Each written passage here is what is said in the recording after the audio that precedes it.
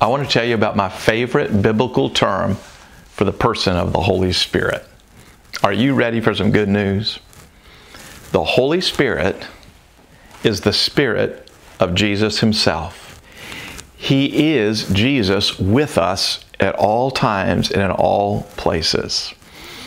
Paul in Philippians chapter 1 verse 19 is rejoicing and saying, I continue to rejoice, speaking of how all he knows through the prayers and the help given to him. And he says, help given by the Spirit of Jesus Christ.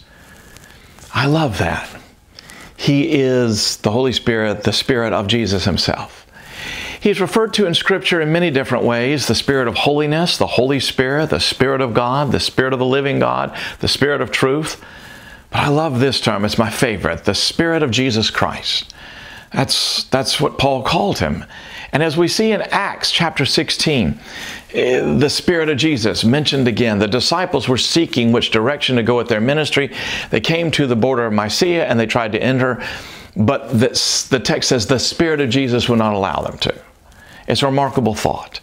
The Holy Spirit is Jesus in the Spirit. That's why Jesus explained to the disciples that though he was going away, he would come. He himself would come again to them. Some might interpret Jesus' statement in John 14 that I will come to you as a reference to a post resurrection appearance, or some might refer to it as an eschatological end times appearance or the final coming of Jesus because Jesus is talking about the Holy Spirit, I interpret it to mean that he's telling them that he, Jesus, is going to leave them and then return at Pentecost. You've been with me, Jesus says. You know the Holy Spirit because He lives with you. You know the Holy Spirit because He's my Spirit. And when He comes back, you will be made aware of this. I think that's what He's saying.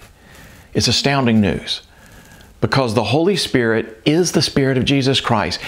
Being filled, therefore, with the Spirit means we are filled with the presence of Jesus Himself. And that's the gospel. Well, that's today's daily devotion. You can get more like it just by clicking here, or better yet, subscribe and start out every day with the good news, learning about who the Holy Spirit is, and on through the rest of this year, every day starting with the gospel. Have a great day.